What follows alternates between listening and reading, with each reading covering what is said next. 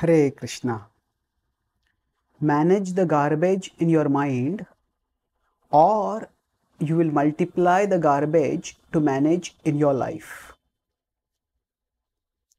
Whenever we have any garbage, say in our home somewhere, suppose wind comes, the wind spreads the garbage to various places. Now, while the garbage is at one place, cleaning it requires effort. But when the garbage is spread to multiple places, then cleaning it requires much, much more effort. The same applies uh, for us with respect to the garbage in our mind. What do we mean by garbage in the mind? We all have trivial desires, waste, waste desires. Oh, I want to eat this, I want to watch this. Why did this person do like that? So we contemplate on certain things, and by contemplating on those things, we get captivated by them. We waste a lot of our mental and emotional energy on stray thoughts. Now, sometimes garbage is also useful in this valuable in the sense that if we recycle garbage, something good can come out of it. But if say we have limited time, then we will just dump the garbage. And if it's not our job to recycle the garbage, we will just dump it. So we could say that every thought is important, everything needs attention. But no, we have finite time, energy, and consciousness, and therefore we have to select. So things that are like garbage, if we contemplate on them, if we dwell on them, then what will happen? Not only will they stay over there, but they will grow over there. And when they grow, they will impel us from the thoughts to emotions to intentions to actions.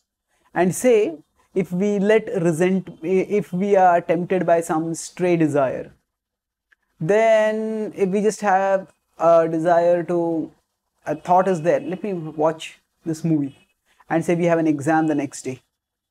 But we give in to that and at that time when the exam is just a few hours away uh, that desire to watch a movie is garbage.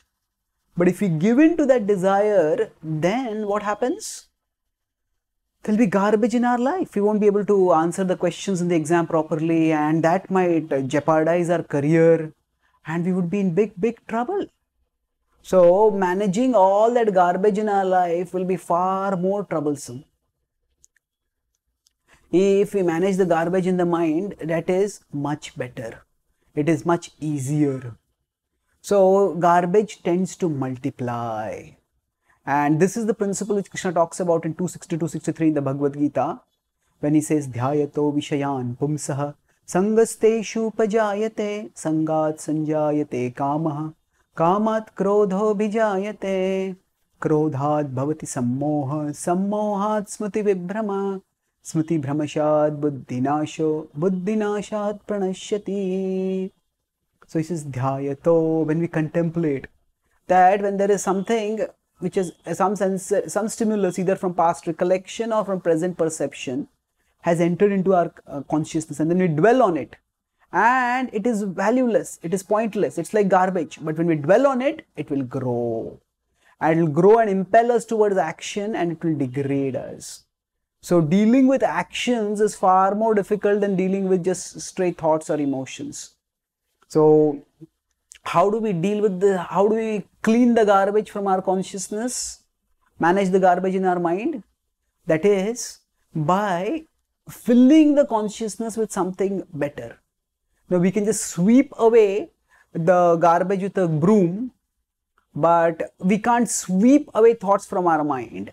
But if we fill in our consciousness with more important thoughts then the lower thoughts will get swept away and that's what Krishna says in the previous verse, 261. He says, Tani sarvani sanyamya yukta sita matpara vashehi yasyendriyani tasya pragya pratishtita. So, if we fix the mind in Krishna, then we will become fixed in our consciousness, fixed in our purpose, because that connection with Krishna will give us a strong purpose, a strong sense of connection and taste. And then by thus staying focused on our service to Krishna, when we manage the garbage within, the garbage to manage without will be far lesser. Thank you. Hare Krishna.